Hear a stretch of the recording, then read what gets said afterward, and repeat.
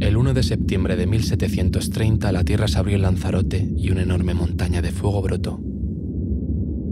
Durante seis años, la lava se extendió por el sur de la isla, cubriéndola de cenizas volcánicas y cambiando el paisaje para siempre. Este es justo el lugar en el que empezó todo. ¿Os lo imagináis?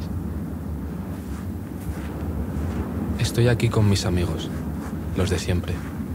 De pequeños no había quien nos separara, pero últimamente nos vemos menos. Por eso hemos hecho este viaje juntos, para no olvidarnos de quienes éramos aunque puede que lo más importante sea quiénes somos ahora. ¿Foto, chicos?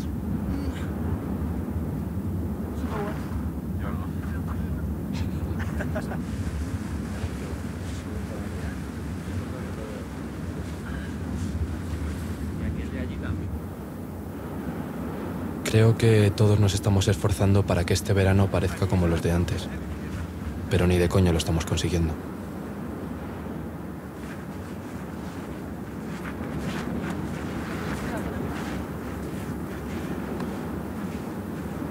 Este verano, por ejemplo, es el primero que Emilio lleva una falda de tutu.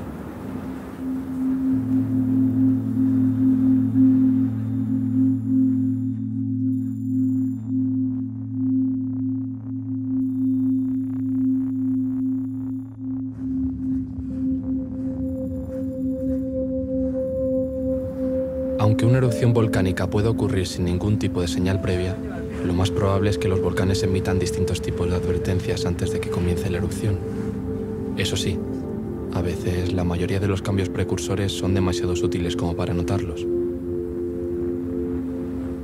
Nosotros apenas lo vimos venir. Quizá es que no miramos ni escuchamos bien.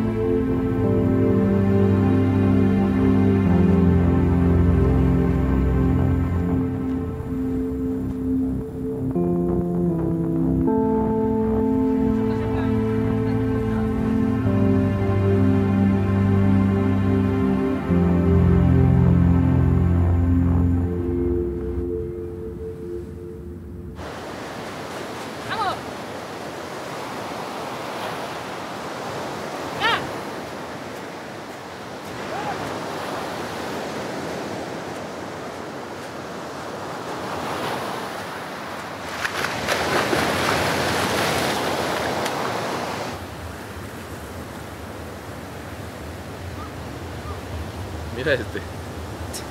Este ya se ha metido.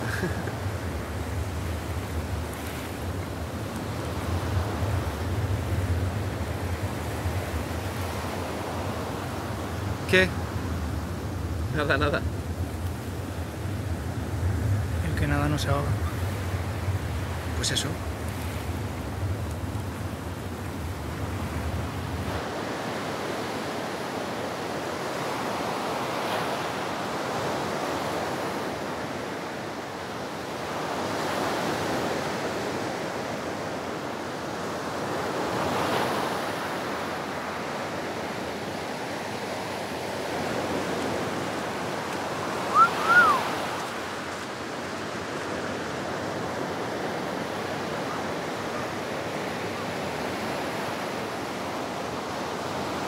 Este es también el primer verano en el que Emilio nos ha pedido que le llamemos él.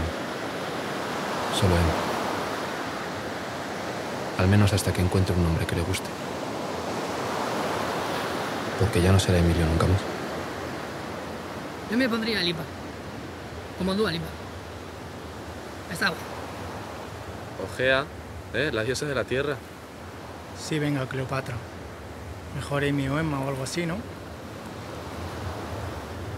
Héctor, dile uno. A mí no se me ocurre ninguno. Bueno, que tiene que ser un nombre normal. Normal. Mari Carmen. Por ejemplo. sí.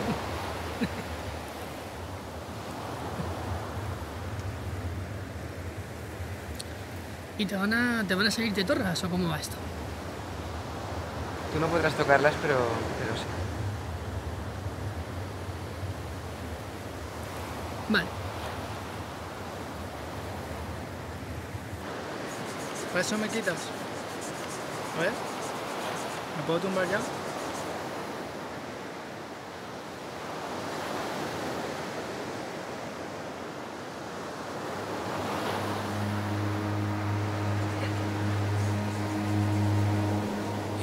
Al final, este va a ser el verano que recordaremos como el primero en el que Em nos enseñó quién es en realidad.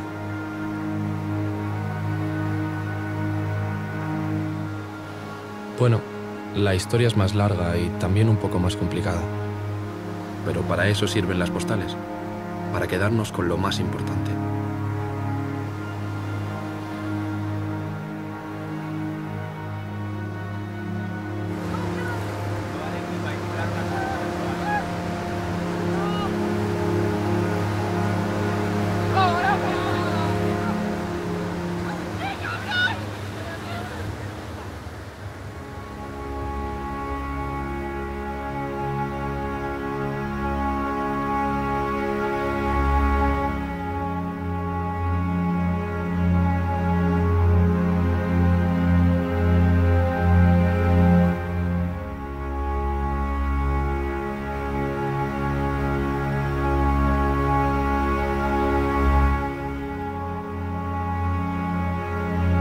Profesor de la carrera defiende que, aunque solo nos fijemos en su poder destructivo, una erupción volcánica construye al fin y al cabo un nuevo paisaje. Uno más joven y necesario. Empiezo a estar de acuerdo.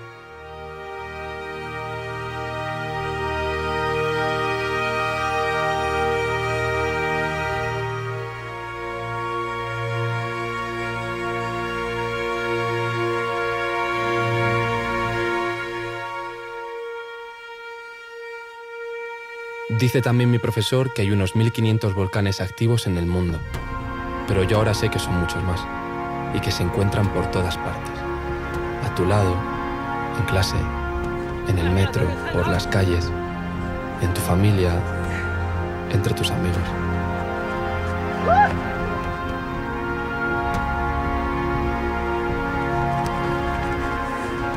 Por más que lo intenten, nadie puede pararlos y están construyendo paisajes nuevos e imprevisibles. Así que solo hay que disfrutar del espectáculo de la naturaleza, abriéndose paso.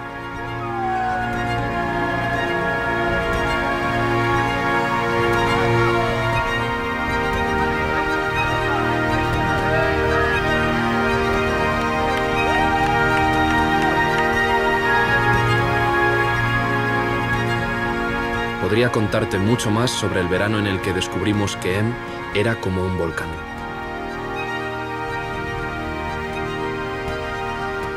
Pero mejor que te lo cuente ella.